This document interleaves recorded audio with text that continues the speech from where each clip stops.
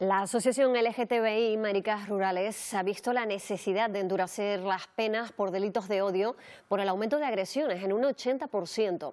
Daniel Alemán es su presidente. Daniel, ¿qué tal? Muy buenos días. Hola, buenos días. Encantado de hablar contigo. Igualmente, ustedes ya se han reunido con el diputado del Común. Esto estaría en manos ya del defensor del pueblo. Ese aumento de, de agresiones es realmente alarmante, un 80%. Sí, es una corriente que la verdad que está cada vez en aumento y nosotros desde nuestro colectivo hemos querido coger este precedente para intentar ayudar a nuestro colectivo en sí. Es decir, no podemos eh, quedarnos aparte y callados o en silencio viendo la cantidad de violencia que están sucediendo, ya sean verbales o físicas. Pero es que además eh, hay otro dato que tampoco es nada positivo, que es que un 30% de las personas que son víctimas de esos delitos, de esas agresiones, no denuncian.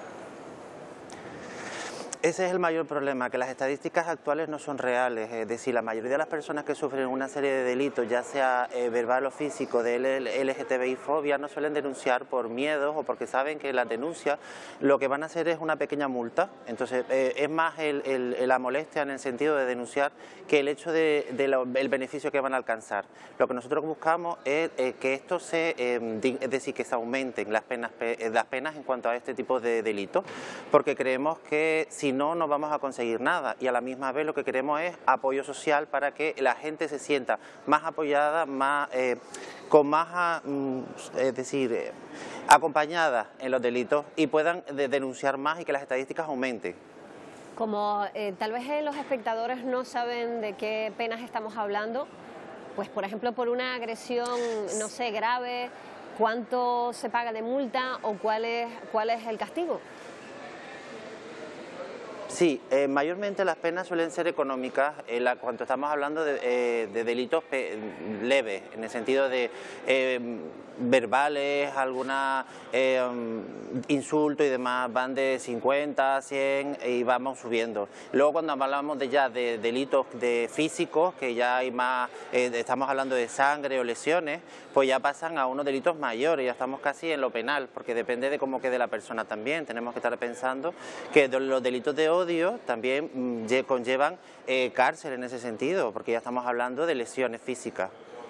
Para integrarse, para evitar este tipo de, cosas, ustedes han creado un proyecto que es pionero en nuestro país, en, Telde, en Gran Canaria, y que quieren llevar también a otros núcleos de, población y que están centrados sobre todo en la seguridad, ¿verdad, Daniel? Sí, este, nosotros gracias a, la Federación Comercial de la zona de San Gregorio en Telde hemos hecho un entorno seguro LGTBI con un protocolo de seguridad, en el sentido que el empresario se compromete a ayudar y a, apoyar a aquella persona que está siendo agredida y a la misma vez a denunciar, independientemente que denuncie la persona que está siendo agredida, que denuncie el comerciante. De esta manera lo que buscamos es, como he indicado, que las estadísticas sean reales y que se vea claramente que los delitos de odio o LGTBI fobias que existen en la actualidad no son pocos, que las estadísticas, no son reales y que ya es hora que nosotros nos veamos esas estadísticas como son, que no son pocas, que, como estamos diciendo que son más del 80%.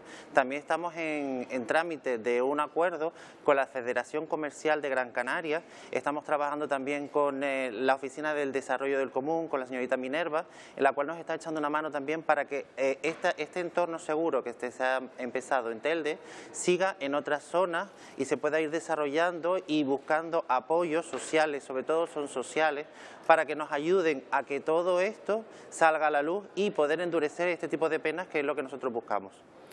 Partimos eh, siempre de la base de que la educación es fundamental, de que hay que empezar desde muy pequeñitos. Parece que lo repetimos constantemente, pero es la clave, ¿no? Ay, no la he entendido bien. ¿Me puedes repetir, por favor? Eh, te decía, Daniel, que partimos siempre de la base de que la educación es fundamental, eh, desde pequeñitos aprender que todos eh, somos iguales, pero no nos cansamos de repetir, de insistir en que esa es la clave al final. Sí, sí, en la educación está la base. Nosotros con el diputado del Común hemos estado hablando y hemos dicho que sí, buscamos el endurecimiento de las penas, pero sin olvidar de la reeducación, porque es muy importante. Nosotros estaríamos de acuerdo, por ejemplo, en que eh, las penas endurecieran en el sentido de que aquellas personas que cometen el delito pudieran hacer trabajos sociales. Por ejemplo, entren en contacto con un colectivo LGTBI, que trabajen con un colectivo LGTBI, que conozcan la realidad de las personas que lo formamos, que sepas por todo lo que pasamos para que exista esa sensibilización, para que esa persona pueda cambiar su mentalidad y a través de ello reeducarlo y pueda reeducar a todo su entorno, porque no se trata solamente de endurecerlas o castigar, se trata de intentar eh, inculcar un poco y reeducar para que la sociedad sea más abierta y liberal. Ustedes han ido incluso un paso más allá y piden un área concreta ¿no? en el Cabildo y en el Gobierno. ¿En qué consistiría? ¿En qué es exactamente lo que solicitan?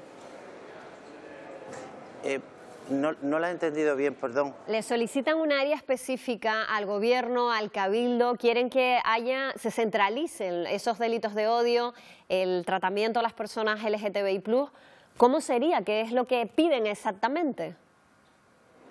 Es decir, nosotros lo que estamos buscando en el Cabildo eh, es que todos los delitos de odio eh, pues, eh, sean es decir, que se reflejen físicamente, no solamente que sean eh, denuncias que queden en nada. Por ejemplo, nosotros desde el, Gobierno de Canarias, que es el que más nos está apoyando, están, están haciendo una promoción de un teléfono que se llama el 028. A día de hoy no está muy conocido, nosotros vamos a empezar a darle bombo y platillo para que la gente lo conozca, porque es un teléfono el que, el que eh, enfoca el cómo tienen que denunciar, a dónde tienen que dirigirse y cómo tienen que hacerlo. Es un acompañamiento en cuanto a las agresiones LGTBI fóbicas. Este sentido buscamos todo tipo de apoyo, ya sea del Cabildo, del Ayuntamiento, del Gobierno de Canarias. Intentamos que toda aquella persona que sea agredida, es, ya sea física, verbal o de cualquier índole, eh, tenga un acompañamiento o por lo menos sepa lo que tiene que hacer y sobre todo que estas penas, que no solamente sean de 50 euros, que la persona va eh, al, juzgado, eh, paga la denuncia y vuelve para afuera, vuelve a delinquir y vuelve a entrar diciendo, mira, ya al delinquir otra vez, entonces te vuelvo a pagar para que no vuelvan a denunciar otra vez. Buscamos que estas penas sean más duras en ese sentido. Pues Daniel Alemán, muchísimas gracias. Ese teléfono también, el 028, para cualquier persona que se encuentre en apuros, que tenga la necesidad de pedir ayuda, puede hacerlo a través también de la Asociación Maricas Rurales. Muchísimas gracias por atendernos. Buenos días. Muchísimas gracias a ti y muy buenos días.